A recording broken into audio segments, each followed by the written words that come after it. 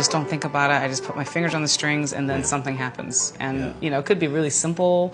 Could be like, oh, I want to record this. Sometimes I don't record it, and I just, you know, that go. was the tune of that moment, and it'll never come back, and that's okay. Is that like throwing the fish back in the sea? Kind of, yeah, Yeah. yeah. Sometimes you cook them, sometimes you let them go. So you know.